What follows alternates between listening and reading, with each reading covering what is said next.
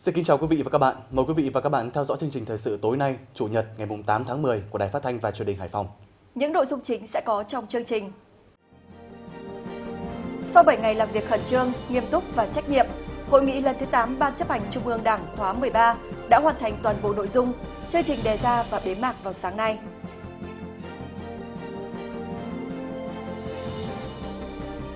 Với kiến thức chắc chắn, phong thái điềm tĩnh, em Nguyễn Trọng Thành đã gây ấn tượng đậm nét về bản lĩnh người Hải Phòng tại chung kết đường lên đỉnh Olympia 2023.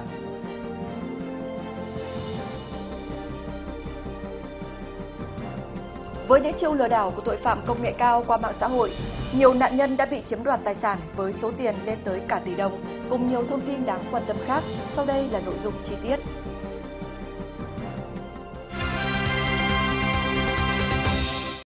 Thưa quý vị, sáng nay tại Hà Nội, hội nghị lần thứ 8 Ban chấp hành Trung ương Đảng khóa 13 đã họp phiên bế mạc. Tổng Bí thư Nguyễn Phú Trọng đã có bài phát biểu quan trọng. Về nội dung kinh tế xã hội ngân sách nhà nước năm 2023-2024, Tổng Bí thư Nguyễn Phú Trọng cho biết, hội nghị thống nhất cao trong bối cảnh tình hình thế giới và trong nước có nhiều khó khăn, thách thức bất thường, phức tạp hơn nhiều so với dự báo, nhưng nhờ có sự lãnh đạo sáng suốt, sát sao kịp thời của Đảng, sự đồng hành và giám sát có hiệu quả của Quốc hội,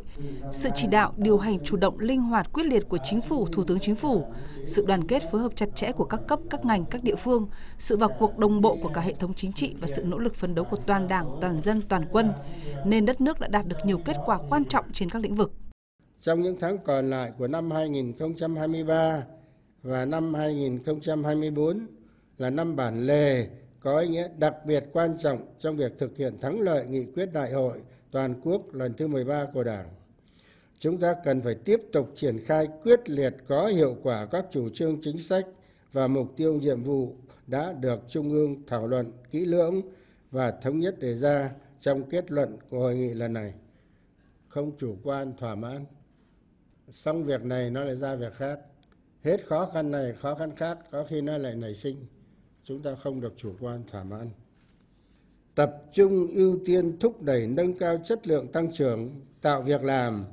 tăng thu nhập cho người lao động. Trên cơ sở giữ vững ổn định về kinh tế vĩ mô, bảo đảm các cân đối lớn của nền kinh tế, bảo đảm an sinh xã hội. Tiếp tục theo dõi sát tình hình quốc tế và trong nước để kịp thời có những quyết sách phù hợp hiệu quả phấn đấu đạt mức cao nhất các mục tiêu chỉ tiêu chủ yếu của năm 2023 và cả nhiệm kỳ khóa 13 lần này của chúng ta. Ban cán sự Đảng Chính phủ cần khẩn trương, nghiêm túc tiếp thu ý kiến chỉ đạo của Trung ương để hoàn chỉnh các tờ trình, báo cáo bảo đảm chất lượng, sát hợp với thực tế và có tính khả thi cao trình Quốc hội xem xét quyết định. Trong bài phát biểu, Tổng Bí thư Nguyễn Phú Trọng cũng đã đề cập những nội dung mà Trung ương thảo luận cho ý kiến đối với các vấn đề sau. Tổng kết 10 năm thực hiện nghị quyết Trung ương năm khóa 11, một số vấn đề về chính sách xã hội. Nội dung về tiếp tục phát huy truyền thống đại đoàn kết toàn dân tộc trong thời kỳ mới. Nội dung về tiếp tục xây dựng đội ngũ trí thức trong thời kỳ mới. Nội dung về tổng kết 10 năm thực hiện nghị quyết Trung ương 8 khóa 11 về chiến lược bảo vệ Tổ quốc trong tình hình mới về nội dung quy hoạch Ban chấp hành Trung ương Đảng nhiệm kỳ 2026-2031, Tổng Bí thư Nguyễn Phú Trọng nhấn mạnh, Ban chấp hành Trung ương Đảng ghi nhận, đánh giá cao những nỗ lực của Bộ Chính trị và Ban chỉ đạo đã công phu nghiêm túc chuẩn bị có chất lượng tờ trình và dự kiến quy hoạch Ban chấp hành Trung ương Đảng khóa 14 với sự kế thừa bổ sung phát triển đúng đắn, phù hợp với cách làm và bài học kinh nghiệm có được từ các nhiệm kỳ trước, đặc biệt là nhiệm kỳ khóa 13. Trung ương yêu cầu ngay sau hội nghị này căn cứ vào kết quả giới thiệu của trung ương sự ra soát thẩm định của ban chỉ đạo các ban đảng trung ương và các cơ quan chức năng bộ chính trị sớm xem xét quyết định một bước quy hoạch ban chấp hành trung ương đảng nhiệm kỳ 2026-2031 làm cơ sở để đào tạo, bồi dưỡng và thường xuyên theo dõi kiểm tra giám sát đối với những cán bộ đã được đưa vào quy hoạch. Nếu phát hiện có sai phạm, không đủ tiêu chuẩn điều kiện thì phải kịp thời đưa ra khỏi quy hoạch. Đồng thời, phải tiếp tục xem xét, phân tích kỹ lưỡng chất lượng, cơ cấu, thành phần trên các lĩnh vực công tác để kịp thời phát hiện, kiến nghị, giới thiệu, bổ sung quy hoạch, báo cáo với bộ chính trị, trình trung ương xem xét ở các hội nghị sau tôi nhiều lần nói rồi không phải là vừa rồi ta làm quy hoạch làm một lần là xong. Nó qua nhiều bước lắm. Tùy diễn biến tình hình thực tế cụ thể có thể còn thay đổi. Đây mới là làm một bước. À, từ bắt đầu phát hiện này đến giới thiệu này. giới thiệu còn phải xem sách thử thách qua thực tế này. Rồi lúc bây giờ mới làm công tác nhân sự. Bây giờ chưa phải là làm công tác nhân sự cái hội nghị từ hội nghị trung ương này đây mới là quy hoạch. Có nghĩa là chúng ta lựa chọn từng bước để đào tạo, bồi dưỡng và cũng qua đây thử thách xem. Chứ không phải vào quy hoạch là ngồi ung dung à sắp tới là mình sẽ làm trước nọ trước kia đây. Chưa có đâu đây là cả một quá trình trong bài phát biểu bế mạc, Tổng Bí thư Nguyễn Phú Trọng cho biết, tại hội nghị lần này, Trung ương đã quyết định thành lập 5 tiểu ban chuẩn bị đại hội 14 của Đảng, bao gồm tiểu ban văn kiện, tiểu ban kinh tế xã hội, tiểu ban nhân sự, tiểu ban điều lệ Đảng và tiểu ban tổ chức phục vụ đại hội. Tổng Bí thư Nguyễn Phú Trọng yêu cầu các tiểu ban cần khẩn trương xây dựng chương trình kế hoạch để sớm đi vào hoạt động bảo đảm chất lượng và hiệu quả. Tối qua tại khu di tích quốc gia đền thờ Trạng Nguyên Trần Tất Văn, thôn Nguyệt Áng, xã Thái Sơn, Ủy ban nhân dân huyện An Lão tổ chức lễ biểu dương học sinh, sinh viên xuất sắc tiêu biểu năm 2023. Tới dự có các đồng chí Lê Trung Kiên, Ủy viên Ban Thường vụ Thành ủy, Trưởng ban Quản lý khu kinh tế Hải Phòng, Lê Khắc Nam, Phó Chủ tịch Ủy ban nhân dân thành phố. Với chủ đề Dạng danh truyền thống quê hương Trạng Nguyên Trần Tất Văn, năm nay huyện An Lão biểu dương khen thưởng 60 em học sinh sinh viên là người địa phương có thành tích xuất sắc trong các kỳ thi học sinh giỏi quốc gia và thành phố, đạt điểm cao trong các kỳ thi tốt nghiệp trung học phổ thông năm học 2022-2023 và kỳ thi vào lớp 10 trung học phổ thông năm học 2023-2024. Đây là hoạt động được huyện An Lão tổ chức thường niên, thể hiện sự quan tâm của cấp ủy Đảng, chính quyền đối với công tác giáo dục đào tạo nhân tài nhằm kịp thời động viên khuyến khích các em tiếp tục thi đua học tập, nỗ lực cố gắng rèn luyện vì ngày mai lập nghiệp, góp phần đẩy mạnh công tác khuyến học, khuyến tài, làm dạng danh quê hương Trạng Nguyên, Trần Tất Văn hiếu học. Thưa quý vị, sáng nay trận chung kết cuộc thi đường lên đỉnh Olympia năm thứ 23 đã diễn ra sôi nổi, gay cấn từ khi bắt đầu cho đến những giây phút cuối cùng. Phó Chủ tịch Ủy ban nhân dân thành phố Lê Khắc Nam, lãnh đạo Sở Giáo dục và Đào tạo huyện Vĩnh Bảo gần 3.000 giáo viên, học sinh cùng hàng nghìn người dân địa phương đã tới khu di tích quốc gia đặc biệt đền thờ Tràng Trình Nguyễn Bình Khiêm để cổ vũ cho em Nguyễn Trọng Thành, học sinh lớp 12 Anh 1, trường Trung học phổ thông chuyên Trần Phú, đại diện ưu tú của thành phố Hải Phòng. Với kiến thức chắc chắn, đồng đều và một phong thái điềm tĩnh, em Nguyễn Trọng Thành đã xuất sắc dẫn đầu ở phần lớn thời gian cuộc thi và chỉ cần một chút may mắn nữa thôi, có lẽ vòng Nguyệt Quế sẽ về với Hải Phòng. Dẫu vậy, Thành đã gây ấn tượng đậm nét về bản lĩnh Hải Phòng ở sân chơi Olympia. Nếu như đầu cầu chung kết Olympia năm ngoái tại quảng trường nhà thành phố diễn ra trong cơn mưa như chút nước, thì năm nay quảng trường danh nhân văn hóa Nguyễn Bình Khiêm thời tiết nắng đẹp và nhanh chóng được hâm nóng bởi sự cuồng nhiệt của gần 3.000 học sinh và giáo viên.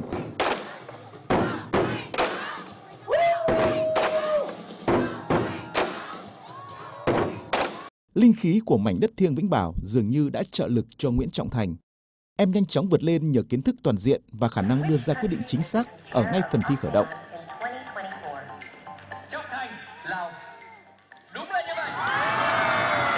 Những câu trả lời chính xác liên tiếp của Thành đem lại sự phấn khích cho 3.000 cổ động viên ở quê nhà.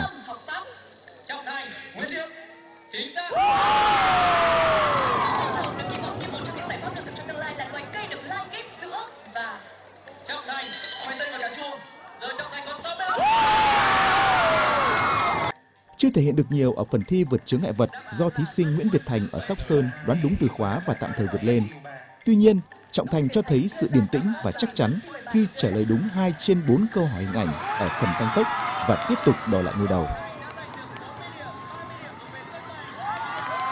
Kịch tính của trận chung kết thực sự diễn ra ở phần thi về đích. Trung Quốc, Hàn Quốc và Hoa Kỳ không chỉ rằng co từng điểm số, các thí sinh đã thể hiện tất cả những phẩm chất tốt nhất của mình ở phần thi này. Và với Trọng Thành, đó là bản lĩnh. Thủy tinh lỏng là dung dịch đậm đặc của hai hợp chất nào? hãy nêu công thức phân tử. Câu trả lời của em là Na2SiO3 và K2SiO3. Câu trả lời cuối cùng của bạn chúng tôi nhận được bạn lại không phải đưa ra một câu trả lời về công thức phân tử. Cái nêu công thức phân tử nó được đọc trong dấu ngoặc tức là có thể bọn em có thể được nêu công thức phân tử hoặc không. Bởi vì câu hỏi nó chỉ là hai hợp chất nào không yêu cầu bọn em phải đọc công thức phân tử mà chỉ đóng ở ngoặc nhưng mà em hoàn toàn có thể đọc tên chất nói đọc tên tôi nghĩ là đã đầy đủ rồi và sự xuất sắc đồng đều đã giúp Trọng Thành dẫn đầu ở phần lớn thời gian trận chung kết. Nhưng sự vươn lên mạnh mẽ của Xuân Mạnh và một chút may rủi ở những phút cuối cùng đã khiến nam sinh Hải Phòng lỡ hẹn đầy đáng tiếc với vòng nguyệt quế vinh quang.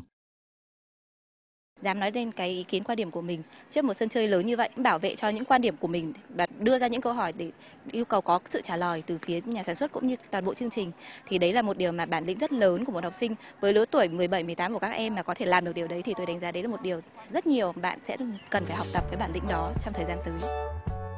Năm thứ hai liên tiếp mang cầu truyền hình Olympia về với Hải Phòng, đem lại niềm vui, niềm tự hào cho người dân thành phố. Nguyễn Trọng Thành dường như còn làm được nhiều hơn thế khi đã truyền được cảm hứng học tập vẻ đẹp tri thức đến với các bạn đồng trang lứa. Quan trọng hơn, em đã thể hiện được những phẩm chất của người trẻ thời đại mới. Điều có lẽ quan trọng, không kém gì trí thức. Sáng nay, Hội Doanh nhân Đồng Hương Hải Phòng tại Hà Nội tổ chức họp mặt quý 3 năm 2023. Tới dự có Phó Chủ tịch Ủy ban nhân dân thành phố Hoàng Minh Cường, đại diện Hội Đồng Hương Hải Phòng tại Hà Nội, Hội Đồng Hương Hải Phòng tại thành phố Hồ Chí Minh, Hội Doanh nhân trẻ Hải Phòng cùng đông đảo doanh nhân hội viên tham gia. Hội Doanh nhân Đồng Hương Hải Phòng tại Hà Nội, tiền thân là câu lạc bộ doanh nhân Đồng Hương. Đến nay, hội có trên 100 hội viên tham gia với nhiều lĩnh vực sản xuất, kinh doanh. Dịch Covid, hội doanh nhân làm được 100.000 cái mũ giọt giống giọt bắn ấy, tặng riêng Hải Phòng là 40.000. Ngoài ra thì các doanh nhân Hội đồng người Hải Phòng tại Hà Nội thì cũng đã đóng góp về quê hương rất nhiều, à, như về mảng giáo dục thì đã đóng ờ, góp ừ, hàng trăm bộ thiết bị tập luyện rồi những cái bộ uh, tặng cho mỗi một quận huyện một bộ thiết bị uh, thể chất 100 triệu. Hội Doanh nhân Đồng Hương Hải Phòng tại Hà Nội bày tỏ mong muốn, nguyện vọng trong thời gian tới, thành phố và các sở ngành địa phương tạo điều kiện thuận lợi để các doanh nghiệp hội viên có thể đầu tư một số lĩnh vực như đầu tư khu trải nghiệm giáo dục công nghệ tại khu di tích Bạch Đằng Giang và một ngôi trường liên cấp, đầu tư xây dựng cụm công nghiệp logistics, đầu tư ga hàng hóa hàng không tại cảng hàng không quốc tế Cát Bi. Phát biểu tại buổi họp mặt, Phó Chủ tịch Ủy ban nhân dân thành phố Hoàng Minh Cường chúc mừng các hội viên nhân ngày doanh nhân Việt Nam 13 tháng 10. Đồng chí Phó Chủ tịch Ủy ban nhân dân thành phố ghi nhận những nỗ lực cố gắng của Hội doanh nhân Đồng Hương Hải Phòng tại Hà Nội thời gian qua, mặc dù trong điều kiện còn nhiều khó khăn, nhưng nhiều hội viên đã khẳng định vị thế, phát huy thế mạnh, đem lại hiệu quả kinh tế cao và luôn hướng về quê hương Hải Phòng. Với các nội dung đề xuất của Hội Doanh nhân Đồng Hương mong muốn đầu tư về Hải Phòng, Phó Chủ tịch Ủy ban nhân dân thành phố yêu cầu hội cần nghiên cứu, có phương án đề xuất cụ thể. Thành phố sẽ giao các sở ngành liên quan phối hợp để giới thiệu, khảo sát, lựa chọn địa điểm đầu tư phù hợp với quy hoạch của thành phố, bảo đảm theo đúng quy định của pháp luật về đầu tư. Tính đến hết tháng 8 năm 2023, về nguồn vốn đầu tư công phân cấp cho quận huyện, có 10 trên 15 quận huyện có tỷ lệ giải ngân đạt từ 30% đến dưới 60%. 3 trên 15 quận huyện có tỷ lệ giải ngân dưới 30%. Huyện Tiên Lãng và quận Ngô Quyền là hai trong số 15 quận huyện đứng đầu thành phố với số vốn giải ngân trên 60% kế hoạch được giao, ghi nhận tại quận Ngô Quyền. Dự án xây dựng nhà lớp học và các phòng chức năng trường trung học cơ sở Lý Tự Trọng đơn nguyên 1 có quy mô đầu tư phá rỡ nhà lớp học 2 tầng hiện trạng, xây dựng nhà lớp học và các phòng chức năng 3 tầng với tổng diện tích sàn 1.130 m2, được khởi công từ đầu năm 2023. Đây là một trong số nhiều dự án trường học được đầu tư xây dựng bằng nguồn vốn đầu tư công, tiếp tục khẳng định sự quan tâm, ưu tiên cho lĩnh vực giáo dục đào tạo của quận Ngô Quyền. Ủy ban nhân dân quận hết sức quan tâm đầu tư cho tất cả các cái trường học nói chung. Đối với cái vốn đầu tư công của các trường học đã chiếm đến 60 trên 60% tổng vốn đầu tư. À, đối với trung học cơ sở Lý Tự Trọng thì à, trước đây cơ sở vật chất thì còn khá nhiều khó khăn và đến năm 2023 vừa qua thì với sự quan tâm của Ủy ban nhân dân quận đã thực hiện cái công trình đầu tư công không chỉ trang bị tất cả các công trình xây mới mà cơ sở vật chất bên trong như bàn ghế, điện quạt, bảng là được đầu tư mới ngay từ ban đầu tất cả các công trình đầu tư công của quận là đầu tư đồng bộ cả cơ sở vật chất và thiết bị. Và khi mà được đón nhận thì nhà trường sẽ được đón nhận những phòng học rất là chuẩn, đạt theo tiêu chuẩn 2 của chuẩn trường chuẩn quốc gia. Các em sẽ có một môi trường không gian học tập đầy đủ thiết bị hiện đại. Năm 2023, tổng kế hoạch vốn đầu tư công được giao của quận Ngô Quyền là 103 tỷ 476 triệu đồng. Hết 9 tháng, quận đã giải ngân 67 tỷ 828 triệu đồng, đạt 65% kế hoạch. Những tháng cuối năm, quận tiếp tục triển khai nhiều giải pháp để phấn đấu hoàn thành mức cao nhất kế hoạch giải ngân vốn đầu tư công năm 2023. Từ cái việc mà thực hiện à, sớm các thủ tục chuẩn bị đầu tư thì Ủy ban quận cũng đã thực hiện ngay được các việc việc phân bổ chi tiết vốn à, cho các cái dự án trên địa bàn và sau đó tổ chức à, thi công à, cho kịp thời đúng tiến độ và đảm bảo nguồn vốn cho các nhà thầu để thi công. Thì trong quá trình thi công thì quận cũng đã trực tiếp giao cho phòng chuyên môn như phòng tài chính kế hoạch của quận để kiểm tra, đôn đốc, hướng dẫn chủ đầu tư hướng dẫn nhà thầu trong công tác thi công để xác định rõ cái khối lượng công việc và căn cứ đó để bố trí vốn giải ngân đầu tư công theo quy định. Mới đây, tại kỳ họp thứ 12, kỳ họp chuyên đề Hội đồng Nhân dân quận Ngô Quyền khóa 19, nhiệm kỳ 2021-2026 đã xem xét thông qua nghị quyết bổ sung điều chỉnh kế hoạch đầu tư công quận năm 2023, theo đó bổ sung 5 dự án cải tạo chỉnh trang hè đường Nguyễn Khuyến, cải tạo chỉnh trang hè đường Trần Nhật Duật, xây dựng trường mẫu giáo Sao Sáng 6, cơ sở 1, đầu tư một số cơ sở vật chất và cảnh quan phục vụ trụ sở quận ủy, hội đồng nhân dân, ủy ban nhân dân quận Ngô Quyền, xây dựng phòng truyền thống quận Ngô Quyền, điều chỉnh tăng vốn của 3 dự án với tổng mức là 2,5 tỷ đồng. Cung cấp sản phẩm bánh đa truyền thống nổi tiếng của Hải Phòng với sản lượng 4 tấn bánh trên một ngày cho thị trường, nhưng làng nghề bánh đa truyền thống dư hàng kênh đang bị thu hẹp dần diện tích sản xuất trong quá trình đô thị hóa. Hiện chỉ còn 10 hộ làm nghề, trong đó một số hộ đã hiện đại hóa sản xuất, mang lại hiệu ứng tích cực. Những công đoạn sản xuất thủ công trước kia đã được thay thế bằng máy móc thiết bị hiện đại, rút ngắn thời gian trong tất cả các công đoạn sản xuất và nâng cao sản lượng để đáp ứng nhu cầu thị trường. Tất cả công đoạn trước đây làm với sản phẩm bánh từ khi lúc ngâm gạo mà cho đến lúc ra sản phẩm bánh là phải mất từ 15 cho đến 18 tiếng đồng hồ. Nên sản phẩm. Còn bây giờ chúng tôi chỉ tầm 4 tiếng đồng hồ đã ra sản phẩm. Sản phẩm chúng tôi là đưa ra thị trường nó là thứ nhất nó tươi hơn, nó nhanh hơn. Công nghệ sấy bằng điện mà hệ thống bóng hồng ngoại nó là bóng lưu gen đấy thì là nó tạo ra cái sản phẩm là là là, là chống vi khuẩn. Thứ hai nữa là sau khi bánh sấy ra phát là chúng tôi cho ủ sấy lạnh ngay, bảo quản cái bánh nó sẽ tốt hơn. Đầu tư dây chuyền sản xuất hiện đại đã giúp cho các hộ làm nghề nâng cao năng suất, chất lượng, giảm sự phụ thuộc vào nhân công và đảm bảo vệ sinh an toàn thực phẩm. Thị trường tiêu thụ cũng rộng mở hơn đối với sản phẩm bánh đa của Hải Phòng. Trước đây tôi làm thủ công ấy, thì cái thị trường tôi thì còn ờ, rất nhỏ lẻ. Sau khi tôi đưa hệ thống máy móc vào rồi thì sản phẩm của tôi đã được ờ, đẩy ra một số thị trường ờ, ngoài tỉnh như là các thành phố như là Hà Nội, Quảng Ninh hay một số tỉnh khác. Hiện làng nghề có hai hộ đầu tư máy móc vào sản xuất, vừa tráng bánh vừa hong khô trong một dây chuyền. Đồng thời làng nghề cũng đã có sản phẩm được chứng nhận ô cốp. Của chúng tôi à, đã có hai cái hộ à, sản xuất kinh doanh đã theo dây chuyền là máy móc sản xuất à, và rất là vệ sinh an toàn thực phẩm và đã được cái sản phẩm là chứng nhận là ô cốp chúng tôi cũng vận động những hộ kinh doanh còn lại có những cái điều kiện sản xuất theo hai gia đình mà đã được đạt cái tiêu chuẩn ô cốp và nâng cao năng suất chất lượng Thế và đồng thời là sẽ làm tạo được cái thu nhập, nâng cao cho kinh tế phát triển của địa phương phường Dương Kênh. Chỉ số ít hộ có tiềm lực kinh tế đầu tư hệ thống khép kín nhưng lại đang là nguồn cung chủ yếu cho thị trường. Đây cũng là hướng phát triển được xác định của các hộ để gìn giữ và phát triển làng nghề bánh đa truyền thống của địa phương trong điều kiện đô thị hóa hiện nay.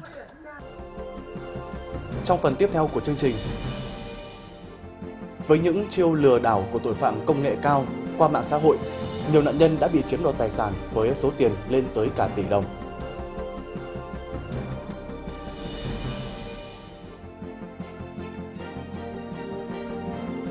Chưa đưa vào vận hành gây lãng phí đất đai và ngân sách nhà nước, đó là thực trạng của dự án thí điểm khu chăn nuôi gia cầm tập trung tại huyện Tiên Lãng trong hơn 10 năm qua. Thưa quý vị, thời gian qua, mặc dù lực lượng chức năng liên tục triệt phá các vụ lừa đảo, chiếm đoạt tài sản qua Facebook, Zalo, điện thoại, đồng thời thường xuyên cảnh báo các thủ đoạn mới của loại tội phạm này, thế nhưng vẫn có rất nhiều người dính bẫy lừa. Số tiền bị chiếm đoạt của nạn nhân ít thì vài triệu đồng, nhiều thì trăm triệu và thậm chí là cả tỷ đồng. Người phụ nữ trẻ này là nạn nhân của một vụ lừa đảo qua mạng với số tiền lên đến 1,6 tỷ đồng. Theo trình báo, qua mạng xã hội, chị quen một người đàn ông có tên tài khoản Facebook là Nguyễn Thái Bình. Sau nhiều lần được đối tượng lấy tài khoản ngân hàng và email cá nhân nhờ giao dịch trên một sàn ngoại hối giúp, chị thấy hệ thống đều tự động trả lãi đúng hạn nên đã đầu tư theo. Tuy nhiên, số tiền bỏ ra đã nhiều nhưng không thấy sinh lời. Đồng thời, lượng tin nhắn của đối tượng liên lạc cũng ngày một thưa thớt. Lúc này, chị mới phát hiện ra mình bị lừa. Tất cả toàn bộ tiền à, tiết kiệm của tôi dùng để dành để lo cho tương lai của con cái là tôi đều đầu tư hết vào vào sàn và tôi có nợ thêm một khoản thẻ tín dụng là 200 triệu. Người phụ nữ trên chỉ là một trong số rất nhiều trường hợp bị các đối tượng sử dụng công nghệ cao lừa đảo thời gian qua. Chúng đã lập ra một trang web giả mạo những sàn đầu tư tiền ảo và lợi dụng sự thiếu hiểu biết của nạn nhân để lừa họ tham gia, nạp tiền từ đó thực hiện hành vi chiếm đoạt tài sản. Các đối tượng tìm hiểu rất kỹ về các tâm tư, nguyện vọng, các khả năng của bị hại để tăng sự tin tưởng. Thứ hai nữa là đối tượng lừa đảo trên các mạng đây là đối tượng lừa đảo là xuyên quốc gia. Theo thống kê, từ năm 2020 đến nay, trên địa bàn thành phố có hơn 180 vụ lừa đảo chiếm đoạt tài sản được cơ quan chức năng phát hiện. Đa số các vụ, đối tượng thường sử dụng công nghệ cao hay nói cách khác là thực hiện hoạt động lừa đảo trên môi trường mạng. Đa phần là các đối tượng là người nước ngoài cấu kết với các đối tượng người Việt Nam sử dụng địa bàn nước khác gây khó khăn cho lực lượng công an trong việc truy vết. Thứ hai là tình trạng à, dùng chứng minh nhân dân giả, thuê mượn chứng minh nhân dân để mở tài khoản ngân hàng, ví điện tử do người khác lập để phục vụ hoạt động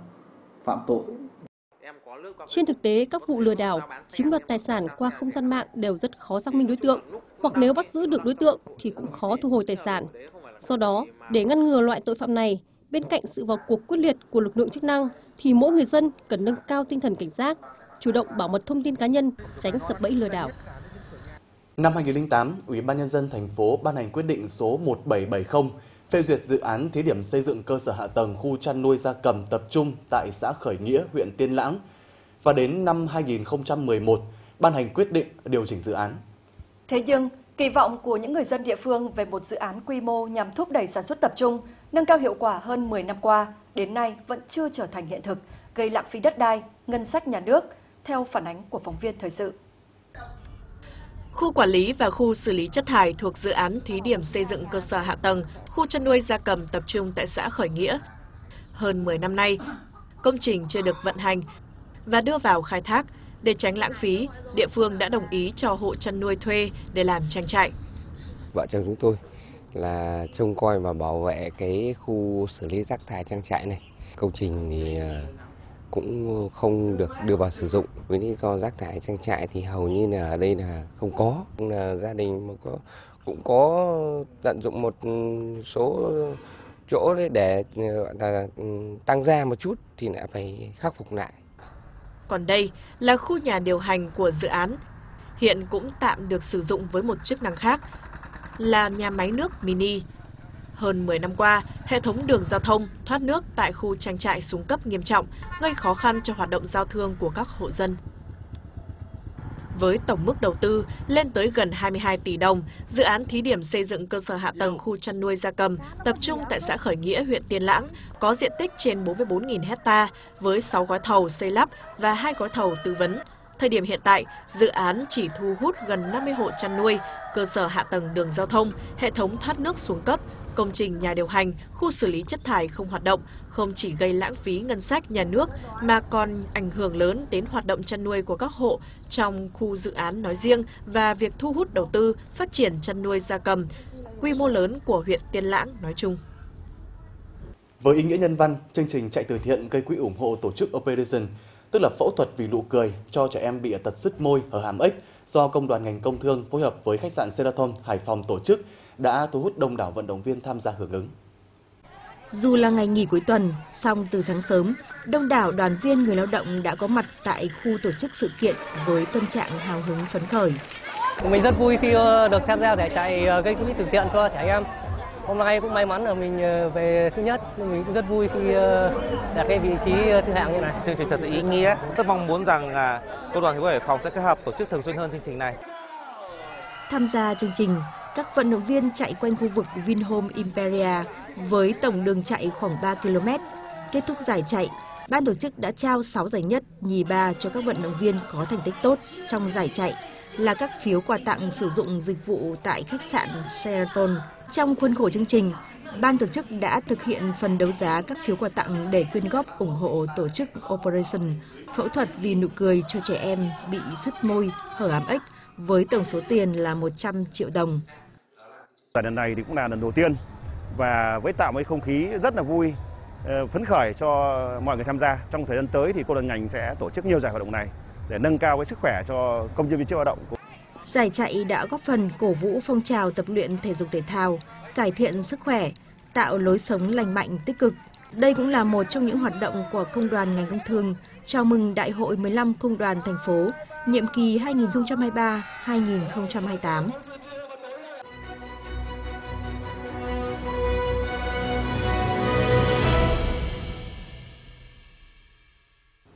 Khu di tích đặc biệt từ thời kháng chiến nay lại được trùng tu, mở rộng thành một quần thể với nhiều công trình, khu tưởng niệm, đền thờ khang trang, rộng rãi từ tâm huyết của một người cựu chiến binh. Xin mời quý vị cùng tìm hiểu về một nơi đặc biệt như thế.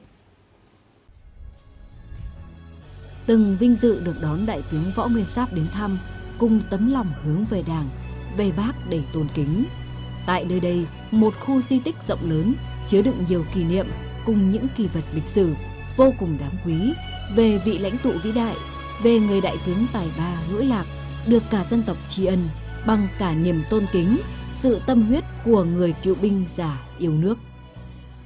Bố mẹ tôi đào cái hầm bí mật để nuôi dấu cán bộ. Thế từ đó chúng tôi thấy tinh thần của bố mẹ thế sau khi hoàn thành nhiệm vụ trở về, cả một bước dài lịch sử như thế, nó rất nhiều cái cần phải để lại lưu trữ lại để mà giáo dục cho đời sau. Tôi tranh thủ là tích lũy lại tất cả các cái tư liệu ở đơn vị, hay là tư liệu của bố mẹ tôi để lại thì chúng tôi tích lũy, nâng niu, giữ lại. Thế sau đó chúng tôi xây dựng dần dần.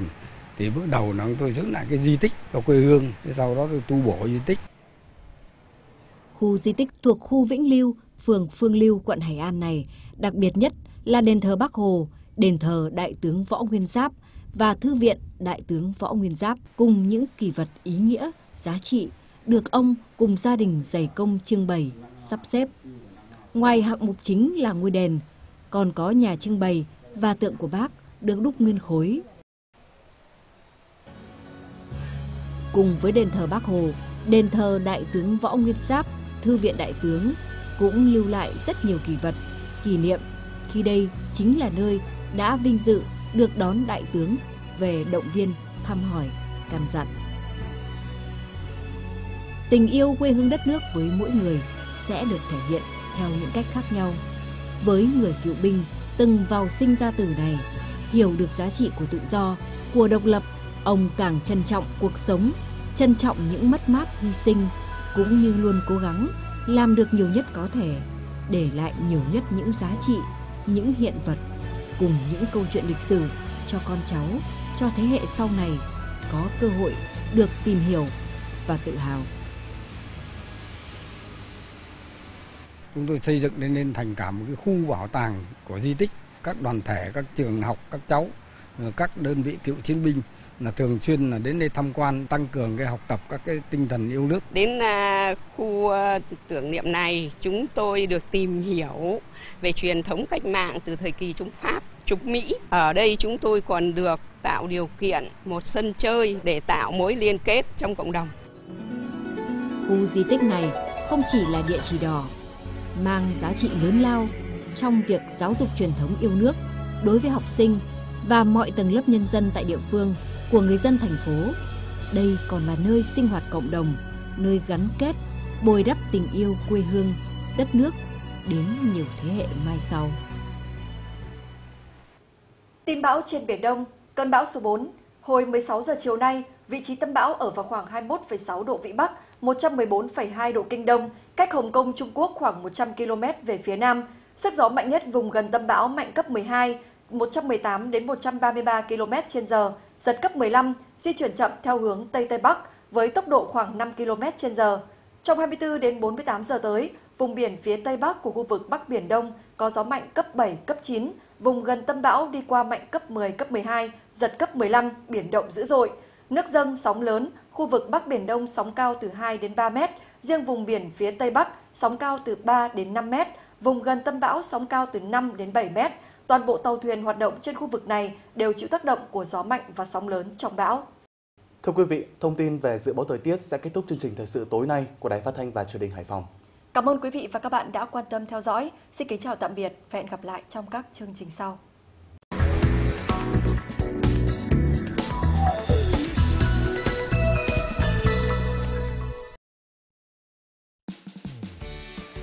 Khu vực trung tâm thành phố ít mây, đêm không mưa, ngày trời nắng, gió nhẹ, nhiệt độ từ 23 đến 30 độ C, độ ẩm từ 75 đến 80%.